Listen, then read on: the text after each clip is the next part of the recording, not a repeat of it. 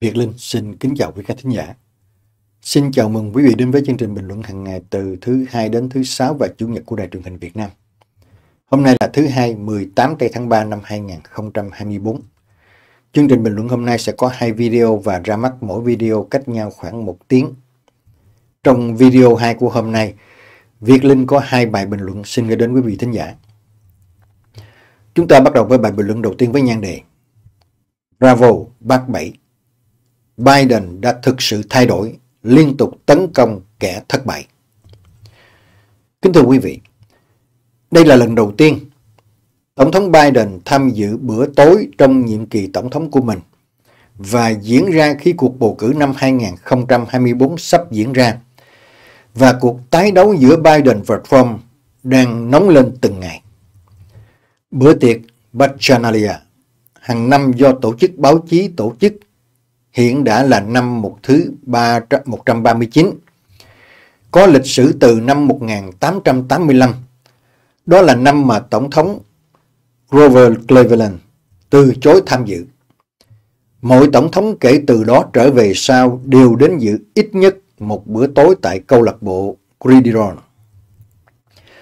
Và những lời chỉ trích mới nhất chống lại Donald Trump của đảng Cộng Hòa liên tục đến từ Tổng thống Biden tại câu lạc bộ Gridiron và bữa tối của tổ chức này hàng năm. Khi Tổng thống Biden mạnh mẽ chủ tâm làm chệch hướng những lời chỉ trích đang diễn ra, rằng trí nhớ của ông kém và bối rối. Thay vào đó ông đã nhấn mạnh những khoảnh khắc khi Donald Trump 78 tuổi trẻ hơn ông chỉ vài tuổi thôi, nhưng cũng mắc sai lầm như vậy. Tổng thống Joe Biden cho biết tại bữa tối tại câu lạc bộ Gridiron ở Washington. Câu chuyện xoay quanh hai ứng cử viên vừa giành được đề cử tổng thống của hai đảng chính trị lớn của đất nước.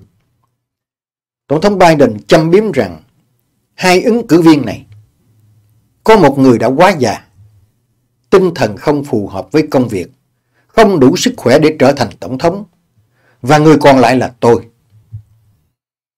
Nhưng mà này, các bạn đừng nói với ông ấy nhé. Kẻo ông ấy lại nghĩ rằng ông ấy đang chống lại Barack Obama. Thưa quý vị, Tổng thống Biden đang dẫn trước trong một số cuộc thăm dò và phải đối mặt với những lo ngại của cử tri về tuổi tác của mình. Điều mà ông đã cố gắng giải quyết bằng cách nêu bật những sai sót trong lời nói gần đây của Donald Trump. Sắp 78 tuổi vào tháng 6 tới đây.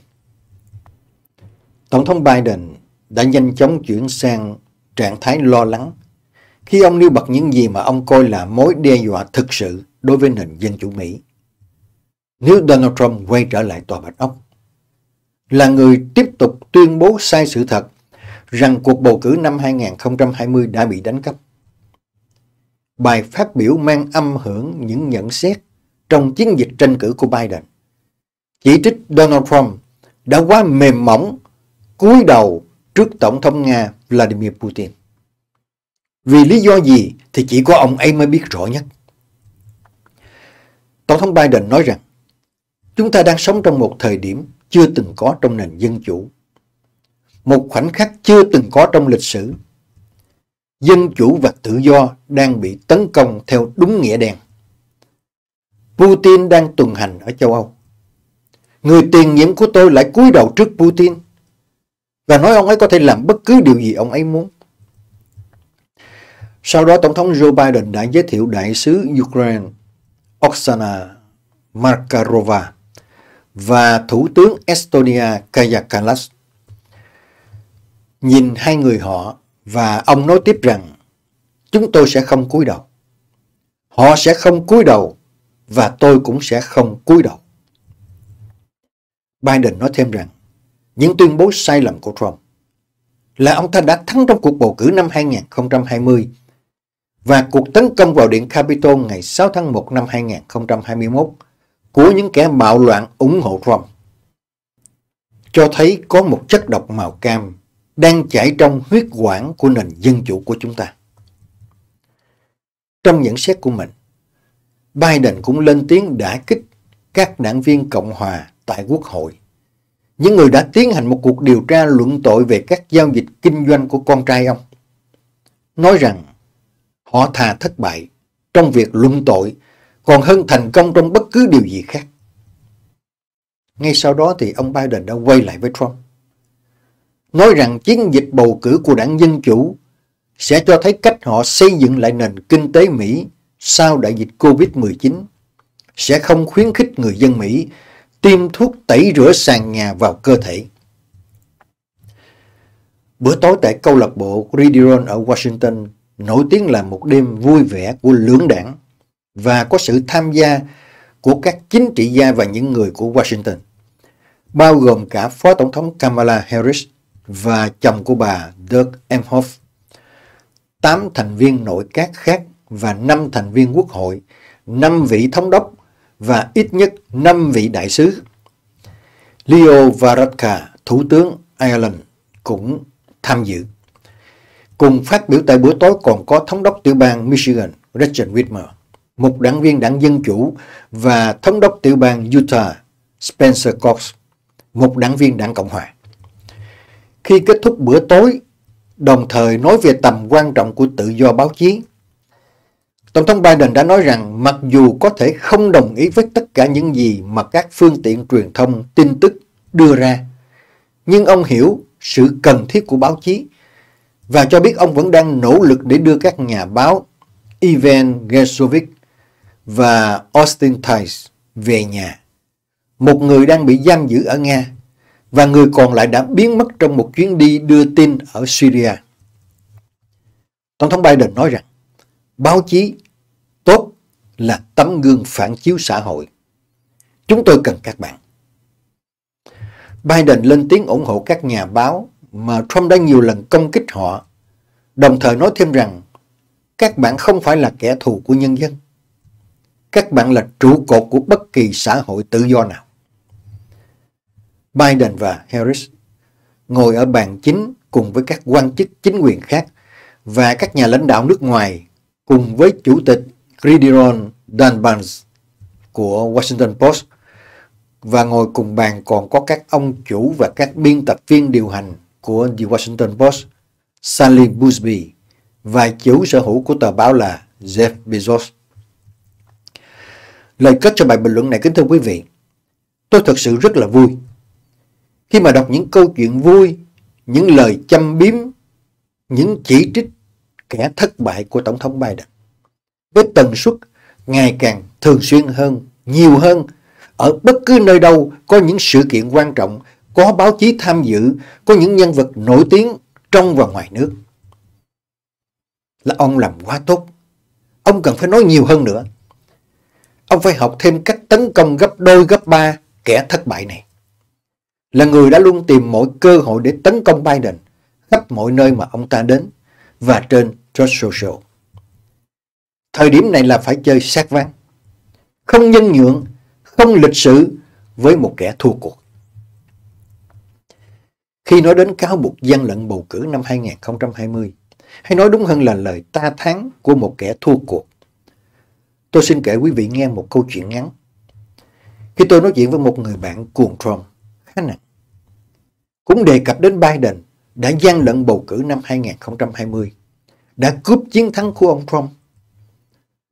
Tôi hỏi người bạn này rằng, thời điểm tranh cử quan trọng, lúc đó ông Biden chỉ là một ông già, chậm chạp, một công dân Mỹ bình thường, một cựu phó tổng thống Mỹ, suốt ngày trốn dưới tầng hầm nhà ở Delaware, không dám lo mặt ra đường, vì sợ đai nếu ông ta bị dính Covid-19. Không dám đến những buổi gặp mặt cử tri nơi đông người với xác suất bị nhiễm Covid sẽ cao hơn. Ông ta chỉ làm việc với cố vấn qua các cuộc họp Zoom từ xa, qua video. Trong lúc đó thì Trump nắm toàn bộ quyền lực trong tay, từ NSA, FBI, Bộ Tư pháp, Mật vụ, Cảnh sát, Vệ binh quốc gia, quân đội. Tất cả đều đang dưới quyền của ông ta. Vậy thì Biden đã ăn cắp chiến thắng bằng cách nào? Bằng phép thần thông biến hóa hay sao? Các vụ thưa kiện sau bầu cử cũng bị các tòa án lớn nhỏ với thẩm phán Cộng Hòa đều thẳng tay bác bỏ vì không có chứng cứ rõ ràng. Vậy tại sao bạn vẫn còn tin lời Trump? Rằng bầu cử năm 2020 đã bị gian lận. Rằng Biden đã cướp chiến thắng của ông ta. Người bạn của tôi nói thế này. Tại bạn bè khác của anh ấy trên Facebook đều nói giống lời Trump nên anh ấy tin họ. Tôi nhắc thêm một chi tiết. Bộ trưởng Tư pháp dưới thời Trump, Bill Barr, cũng điều tra và phải nói thật với Trump rằng không có gian lận gì cả. Donald Trump biết sự thật là không có gian lận, nhưng mà miệng thì vẫn nói có gian lận. Mà có nói như vậy thì mới có lý do để kêu gào những người như bạn đóng góp phụ chi phí pháp lý để đòi lại chiến thắng. Có như vậy thì ông ta mới gom được tiền, mới móc bóp được những kẻ nhẹ dạ, cả tin. Người bạn của tôi im lặng và đuối lý. Hy vọng một ngày gần đây anh ấy sẽ vào nghe tôi nói những chương trình như đã hứa. Và chúng ta bắt đầu bài bình luận thứ hai vào cuối chương trình hôm nay kính thưa quý vị. Với nhân đề Donald Trump và cơ đốc giáo muốn xóa bỏ nền dân chủ Mỹ. Kính thưa quý vị, giờ đây thời điểm tồi tệ nhất trong năm bắt đầu trên sân khấu chính trị thế giới và đặc biệt là tại nước Mỹ. Cuộc tranh giành quyền lực giữa Biden và Trump. Một trận chiến sẽ kéo dài đến tháng 11. Khi đó chúng ta sẽ biết liệu thế giới này vốn đã mất kiểm soát ngày nay có cuối cùng trở thành một nhà thương điên rộng lớn hay không? Trong thời gian này, những người theo trào lưu chính thống cơ đốc giáo từ hàng ngàn nhà thờ tự do tại Mỹ đã trở thành tâm điểm thu hút sự quan tâm chính trị. Bởi vì có khoảng 30% người Mỹ tự coi mình là người theo đạo Tin lành. Họ nhận được sự ủng hộ từ những người công giáo bảo thủ, cánh hữu. Những người theo đạo tin lành này có thể giúp Donald Trump thắng cử và mơ về một chế độ thần quyền. Họ tôn thờ Trump như người mang lại sự cứu rỗi. Kinh nghiệm cho thấy rằng phần lớn những người kính sợ Chúa đứng về phía tội nhân tài năng Donald Trump là người coi phụ nữ là trò chơi công bằng và đã được chứng minh là đã nói dối hơn 30.000 lần. Lại bỗng nhiên trở thành một vị cứu tinh được Chúa gửi đến để chỉ trong một sớm một chiều, chỉ qua một giấc mơ tưởng tượng nào đó là có hàng triệu cơ đốc nhân tin sái cổ. Nhưng mà có một điều mà các cơ đốc nhân không ai nhìn ra. Nơi con người được họ tin là đứng thiên sai này. Ông ta không hề có dấu hiệu của sự khiêm nhường, của lòng bác ái và lòng thương xót Kitô giáo. Ông ta không có những thứ đó. Ông ta gọi các đối thủ chính trị của mình là kẻ sâu bọ. Ông ta miệt thị phụ nữ, xem họ như cỏ rác. Ông ta chế giễu người tàn tật và có bản tính ái kỷ ác tính rất cao, không chịu thua ai dù chỉ một lời nói. Những người sùng đạo trong cơ đốc giáo dường như không quan tâm đến hành vi ái kỷ ác tính này của Donald Trump. Họ không quan tâm đến những lời nói, hành động tàn nhẫn vô nhân đạo đối với đồng loại của thần tượng của họ những người theo đạo tin lành ngày nay. Họ cũng không quan tâm đến việc Donald Trump là người đã khuyến khích đám đông xông vào điện Capitol sau thất bại trong cuộc bầu cử để ngăn cản lễ nhậm chức của Biden. Những cơ đốc nhân chỉ thấy được một việc trước mắt là Trump đã đóng trọn vai là một người theo đạo cơ đốc ngoan đạo, tỏ ra là người phản đối mạnh mẽ việc phá thai. Và trong nhiệm kỳ của mình, Ông ta đã chuyển đại sứ quán Mỹ từ Tel Aviv đến thánh địa Jerusalem, là nơi lịch sử cứu rỗi được cho là sẽ hoàn thành. Nhưng mà lần quay lại này, nếu mà ông ta thành công, nó sẽ rất khác. Donald Trump sẽ không còn giống như một người theo đạo cơ đốc ngoan đạo nữa. Mà lần này ông ta có thể gây ra những hậu quả nghiêm trọng hơn nhiều cho đất nước. Bởi vì Trump hiện có một chương trình nghị sự rất rõ ràng mà các chư hầu, các tham mưu của ông ta đang nỗ lực hướng tới. Đó là xóa bỏ nền dân chủ Mỹ. Ông ta không giấu giếm điều đó quý vị. Và những người theo đạo tin lành cốt lỗi rất là vui vì điều đó. bởi vì họ từ lâu đã mơ về một chế độ thần quyền, một nhà nước thần quyền, trong đó các ý tưởng và mục tiêu tôn giáo được ưu tiên hơn hiến pháp. Trong sứ mệnh chính trị của mình, Trump đã nhanh chóng tiếp quản đảng Cộng Hòa. Ông ấy đã tìm cách loại bỏ những người chỉ trích nội bộ đảng của mình là Lee Cheney, Adam Kinzinger và Mitt Romney. Ronald McDaniel, Chủ tịch Ủy ban Quốc gia Đảng Cộng Hòa, có nhiều ảnh hưởng. Gần đây cũng bị tấn công và sa thải. Sự suy sụp của bà ấy không nằm ngoài dự đoán bởi vì bà ấy là cháu gái của Mitt Romney.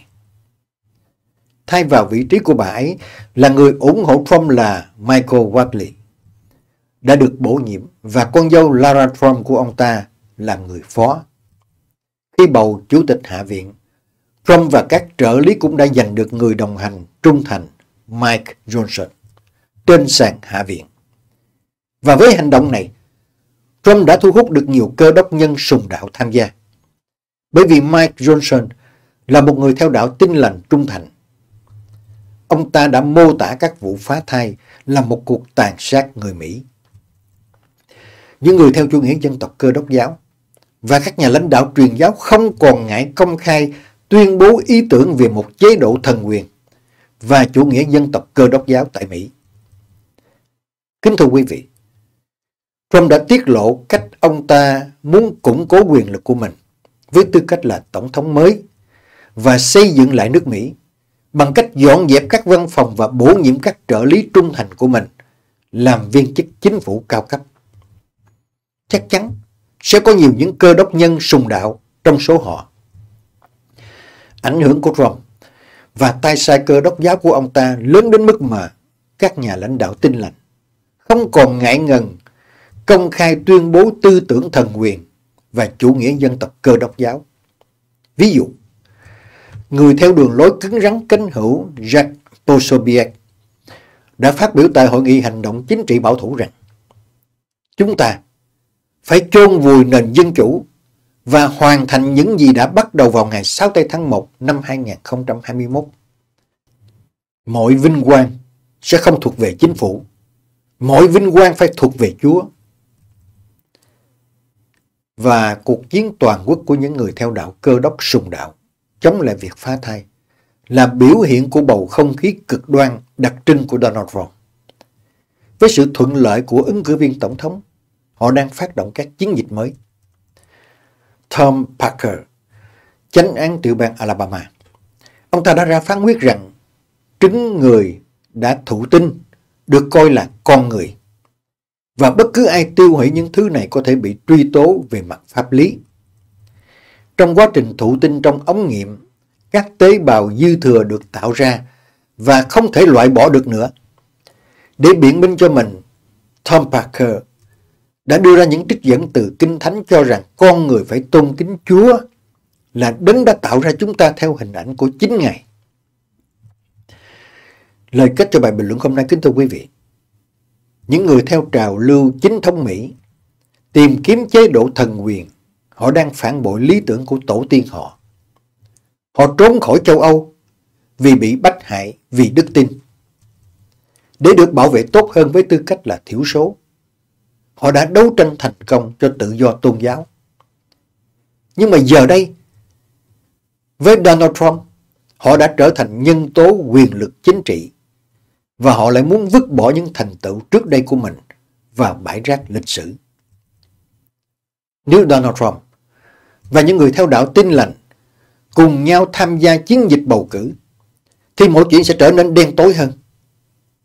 Những người Cộng sản Putin và Tập Cận Bình đã bắt tay chờ đợi và tràn ngập tin tức giả mạo vào Hoa Kỳ.